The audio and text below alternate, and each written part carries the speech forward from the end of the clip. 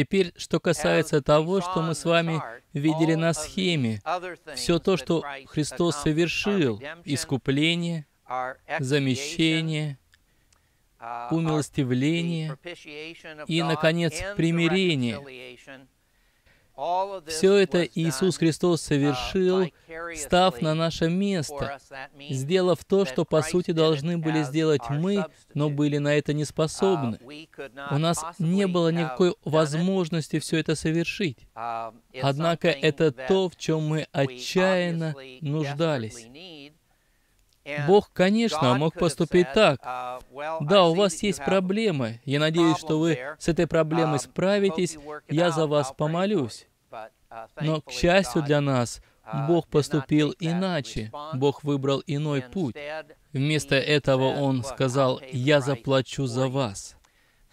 Поэтому мы должны понимать, то, что Иисус Христос совершил на кресте, Он совершил вместо нас. Христос умер вместо нас, и все наши грехи были возложены на Него и оплачены им. Он умирает как приношение за грехи и вносит плату, которую должен был внести каждый из нас.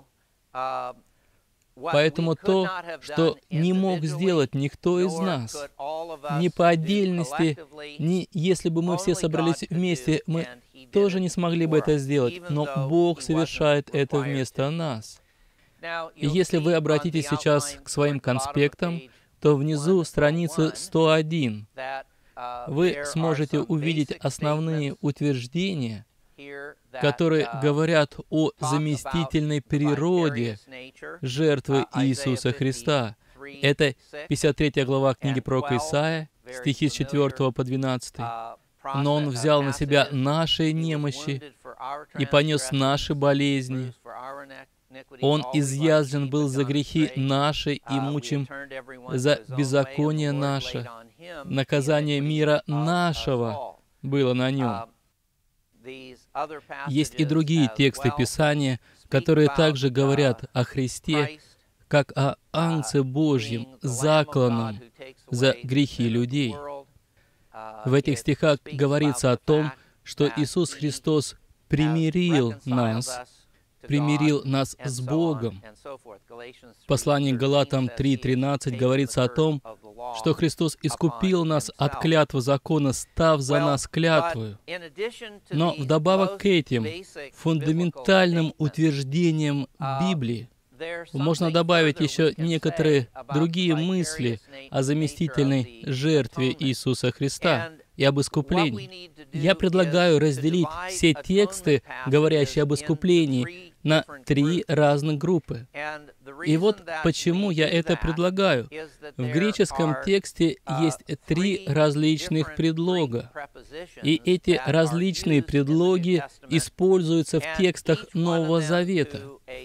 И каждый из этих предлогов в той или иной степени доносит идею о заместительной жертве Иисуса Христа. И вначале я бы предложил рассмотреть тексты Нового Завета, в которых используется предлог «онти».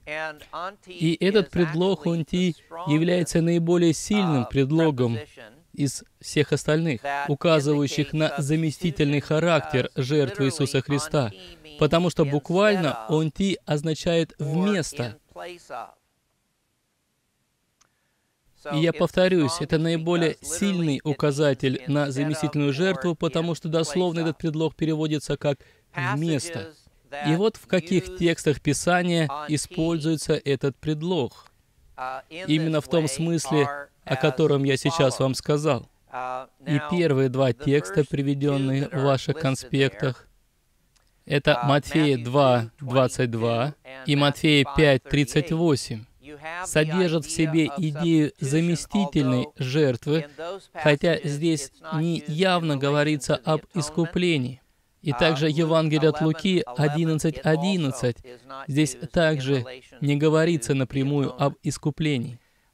Но вот Евангелие от Матфея 20 глава, 28 стих, говорит об этом. Иисус Христос здесь говорит о том, что Он пришел, чтобы отдать жизнь за многих. Или если переводить буквально «вместо». многих. Евангелие от Марка, 10 глава, стих 45. Здесь также содержится идея заместительной жертвы Иисуса Христа, искупительной жертвы Иисуса Христа. Также первое послание к Тимофею, вторая глава, стих 6. В этом стихе содержится очень интересная фраза. В этом стихе мы читаем Христос Иисус, предавший себя для искупления всех. И греческая фраза здесь «анталютрон». И вы понимаете, что слово «лютрон» произошло от греческого слова «лютроо». Произнесу это слово по буквам. А-Н-Т-И-Л-У-Т-Р-O-Н. Отдал свою жизнь для искупления всех. Именно таково следующее слово за всех. И мы с вами к этому стиху еще вернемся, потому что в этом стихе также используется другой предлог, о котором мы с вами будем говорить. Это первое послание к Тимофею, вторая глава, стих 6. Вторая группа библейских текстов, которые говорят о заместительной жертве Иисуса Христа в контексте искупления, это тексты, в которых используется греческий предлог «хюпер», и в действительности этот предлог используется чаще, хотя значение этого предлога менее однозначно, чем, скажем, в случае с предлогом «анти». Этот предлог «хюпер» переводится как «от лица кого-то» или «ради кого-то». И также он может означать «ради пользы кого-то». Позвольте мне uh, повторить. Этот предлог может означать от имени кого-то, ради кого-то или для пользы кого-то. И фразы, в которых используется этот предлог, не означают однозначно идею замещения, потому что что-то может быть сделано от вашего имени, но не обязательно вместо вас. Um, Кто-то, скажем, просто может uh, решить, захотеть положить миллион долларов uh, для вас на ваш счет. Получается, что этот человек поступит так ради вас, для вашей пользы. Но это не обязательно означает, что человек так поступит вместо вас, потому что вы не должны класть миллион долларов на свой счет. Вы ничего не должны банку. Поэтому, если что-то делается для вашей пользы, это не обязательно означает, что это делается вместо вас, что вы должны были это сделать. Но когда мы видим это слово «хюпер» в тех текстах, которые здесь у вас переведены, в ваших конспектах, а также на слайдах презентации, становится очевидно, что то, что совершено ради нас, для нашей пользы, также совершено вместо нас. Теперь давайте с вами рассмотрим эти тексты Священного Писания. Луки, 22 глава, стихи с 19 по 20. В этом тексте Иисус говорит о своей крови, которая проливается за вас. Хюпер хюмон. Иоанна 6 глава, стих 51. В этом стихе Иисус говорит о том, что Он отдает свою жизнь за жизнь мира. Отдать за, вот здесь как раз используется предлог «хюпер». Иоанна 10 глава, 15 стих. В этом стихе Иисус говорит о том, что Он полагает свою жизнь за овец. И опять же, вот это слово, которое у нас переведено как «за», это греческое слово «хюпер», то есть ради овец, для пользы овец. 15 глава Евангелия от Иоанна, 13 стих. Здесь Иисус говорит о том, что нет больше той любви, если кто положит душу свою за друзей. Послание к римлянам, 5 глава, 6 стих, 6 по 8. В этом тексте говорится о том, что Христос умер за нечестивых. И опять же здесь используется предлог «хипер». Когда мы были еще грешниками, Христос умер за нас. И опять же здесь конструкция «хипер хюмон». Послание к римлянам, 8 глава, стих 32. Здесь говорится о том, что Бог предал Иисуса Христа за всех нас. Затем второе послание к Коринфянам, 5 глава, стих 14. Павел пишет, «Если один умер за всех, то все умерли». И опять же в этой фразе мы находим греческий предлог «хюпер», а именно «хюпер пантон». Затем второе послание к Коринфянам, 5 глава, стих 21. В этом стихе апостол Павел пишет о том, что Христос сделался за нас жертвой за грех. Идем далее. Послание к Галатам 2.20. Мы видим там то же самое. Далее Галатам 3.13. Христос искупил нас от клятвы закона, сделавшись за нас клятвою. И здесь также мы видим предлог «хюпер». И затем послание к Ефесянам, 5 глава, стихи со второго и далее. Павел пишет о том, что Христос возлюбил нас и предал себя за нас. Также первое послание к Тимофею, вторая глава, стихи с 5 по 6, где говорится о том, что Христос предал себя для искупления всех. Греческая фраза здесь «хюпер пантон» — «за всех». И затем послание к евреям, вторая глава, стих 9, где говорится о том, что Иисус претерпел смерть за всех. И опять греческое слово здесь «хюпер». Далее, первое послание Петра, третья глава, стихи с 18. Здесь говорится о том, что Христос умер за нас, праведник за неправедных. И опять же здесь мы видим предлог «хюпер». Есть еще один предлог, который имеет непосредственное отношение к нашему обсуждению. Это предлог «пари». Но обычно этот предлог «пари» не указывает на идею замещения. Обычно этот предлог переводится как «о» или «относительно чего-то». Однако в нескольких текстах Священного Писания, которые я сейчас вам назову, совершенно очевидно на основании анализа контекста, что идея здесь — идея замещения. Это Евангелие от Матфея, 26 глава, 28 стих. Позвольте мне прочитать этот текст. Здесь Иисус говорит о заповеди причастия. И вот что мы читаем. «Ибо сие есть кровь моя Нового Завета, за многих изливаемая в оставление грехов». И греческая фраза здесь «перипалон». И все-таки мы здесь с вами видим идею замещения, что Христос проливает свою кровь вместо нас, за многих изливаемая в оставление грехов. То есть Иисус Христос говорит, что Его кровь проливается ради многих людей. И затем первое послание Петра, третья глава, стихи с 18 и далее. Мы уже с вами упоминали этот текст, так как в этом тексте также есть предлог «хюпер». Но теперь давайте обратим внимание на другую часть этого текста, 1 Петра 3.18 мы читаем, «Христос однажды пострадал за грехи наши». И вот в этой фразе используется греческое слово «пери», «пери хамартион». И вот в следующей фразе «праведник за неправедных» используется греческое слово «хюпер». Получается, что в одном этом стихе используются два предлога, которые указывают на заместительный характер жертвы Иисуса Христа.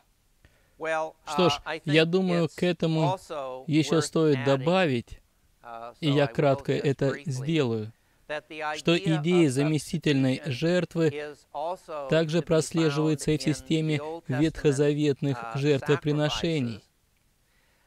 И это указывает на Иисуса Христа. Что происходило, когда животное переносилось в жертву, то священник возлагал на него руки, на это животное, и это символизировало передачу грехов с того человека, который принес это животное, на само животное. И вот после этого животное приносилось в жертву как искупление за грехи человека. И здесь можно привести тексты из Ветхого Завета, в которых прослеживаются эти образы. Это книга Левит, первая глава, стих 4. И книга Левит, четвертая глава, стихи с 22 по 26. Что ж, давайте теперь перейдем к следующему пункту, а именно поговорим с вами о необходимости искупления. Хотя я не думаю, что нам стоит останавливаться на этом вопросе и тратить время, вы можете самостоятельно прочитать в своих конспектах это страницы 102, 103 и 104. И если у вас возникнут какие-либо вопросы, то в следующий раз, когда мы с вами соберемся, вы сможете их задать. Понравилась лекция? Вдохновились услышанным? Поддержите нас молитвой и финансами. Информацию, о чем молиться и как пожертвовать, вы можете найти на сайте tvseminary.com. И вот что мы сейчас будем делать дальше. А дальше вы можете задать вопросы, которые у вас накопились по доктрине искупления, обо всем том, что мы с вами обсуждали. И после того, как мы ответим на все ваши вопросы, мы перейдем к достаточно противоречивому вопросу, но, тем не менее, к очень важному вопросу, к очень важной теме — это распространение искупления, или за кого умер Христос. Но сначала, пожалуйста, какие у вас есть вопросы об искуплении, умилостивлении, примирении и заместительной жертве Иисуса Христа? Да, пожалуйста. Мы говорили о том, что Иисус искупил нас от вины. И мой первый вопрос заключается вот в чем. Должны мы считать себя виновными или невиновными, если Иисус искупил нас от вины? И второй вопрос. Мы говорили о церемониальном законе. Так вот, адвентисты седьмого дня считают, что христиане и сегодня обязаны соблюдать день субботний, так как заповедь о субботе — это часть не церемониального закона, а нравственного, который не утратил силу. Что касается ветхозаветного закона и его отношения к новозаветному верующему, но вот этот вопрос мы с вами обсуждаем на курсе по этике. Поэтому, пожалуйста, записывайтесь на этот курс, и там вы найдете все ответы.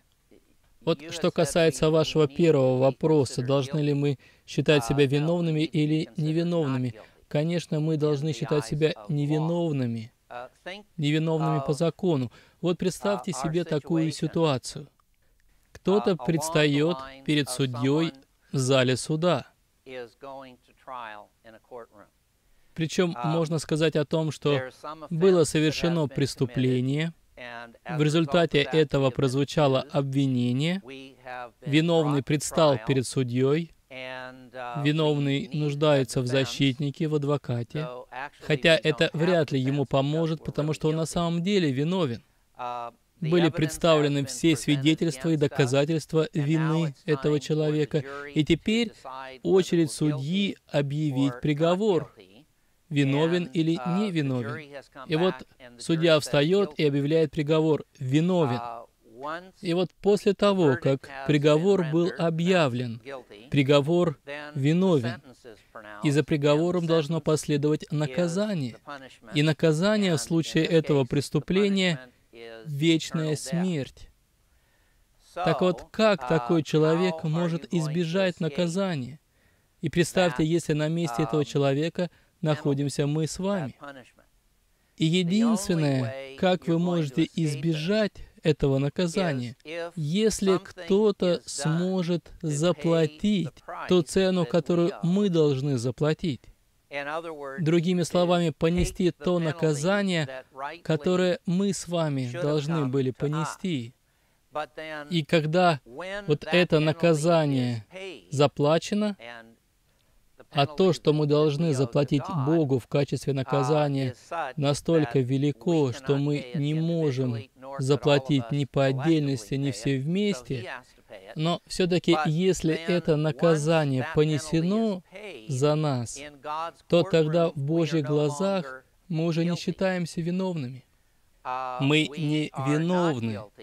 И в этом состоит концепция оправдания, когда объявляется, что мы невиновны. И это крайне-крайне важно, потому что если мы считаемся виновными на Божьем суде, то тогда мы должны понести наказание за свою вину. И пока мы виновны, от этого наказания мы не освобождаемся. И на Божьем суде никогда не произойдет то, что может произойти в наших судах, когда судья, несмотря на то, что считает вас виновным, по каким-то причинам решает вас отпустить. Бог никогда не вынесет несправедливый приговор. И справедливость требует, чтобы наказание было заплачено. И происходит то, что сам судья выходит и оплачивает это наказание. И в результате этого мы объявляемся невиновными. И ведь посмотрите, даже в наших судах виновный человек должен понести наказание за свою вину. Но в случае с Божьим судом удивительное не только в том, что Бог объявляет нас невиновными, но при этом Он и забывает то зло, которое мы совершили, и никогда нам уже этого не предъявит. Я ответил на ваш вопрос хорошо, потому что я не был уверен, действительно ли я отвечаю на ваш вопрос, на то, что вы имели в виду. Ну хорошо. Да, пожалуйста. Можно ли говорить о том, что примирение произошло в один момент, в тот момент, когда Иисус умер? Да, но произошло вот что. Примирение с Божьей стороны. Мы с вами лично еще не примирились с Богом, не получили искупления, умилостивления. В тот момент, когда Иисус Христос умер на Голговском кресте и воскрес из мертвых, мы все еще должны покаяться в своих грехах, должны принять ту жертву, которую принес Иисус Христос ради нас. И если мы этого не сделаем, это не означает, что Бог на самом деле не умер на кресте. И мы с вами уже об этом говорили. Это означает, что мы не получаем тех преимуществ, которые могли бы получить. И вы помните тот пример, который я приводил. За подарки уже заплачено. Вне зависимости от того, примете вы эти подарки, возьмете их себе, или выбросите, или оставите лежать под рождественской елкой большому сожалению, происходит такое, что многие люди решают, что им эти подарки не нужны, и выбрасывают их. Они думают, что сами могут все себе это позволить, что они не нуждаются в этом. И вопрос, который вы задали, на самом деле важный вопрос. Потому что в 20 столетии было несколько очень известных богословов, особенно я хотел бы упомянуть имя Карла Барта, которые представили все следующим образом, что Писание говорит о том, что на Голговском кресте мы примирились с Богом. И поэтому мы, будучи верующими, должны сообщать всем остальным людям о том, что они примирились с Богом. Потому что Карл Барт считает, что в тот момент, когда Иисус Христос умер на Голговском кресте ради нас, то произошло примирение, произошло искупление, и более того, это все было уже вменено людям. И задача церкви лишь в том, чтобы информировать людей о том, что они уже искуплены и примирились с Богом. Кто-то может спросить, а если они не хотят примириться с Богом? И ответ такой, они все равно примирились с Богом, хотят ли они этого или не хотят. И, конечно, один из путей, как можно понять стихи, записанные в послании к Коринфянам, где говорится о том, что мы посланники Христа, посланники Божии, и то, что Бог во Христе примирил мир с собой, Теперь наша задача как посланников сообщить об этом людям. То есть один из путей понимания этих стихов заключается в том, что можно сказать, что все это уже совершилось и применено нам, совершилось на Голговском кресте. Но я думаю, более правильно будет понимать эти стихи таким образом, что они не означают, что мы должны говорить людям, что каждый человек уже примирен с Богом. Все-таки от человека требуется что-то сделать. Да, дар оплачен, но от этого дара для человека не будет пользы, если он его не примет. Что ж, очень хорошо.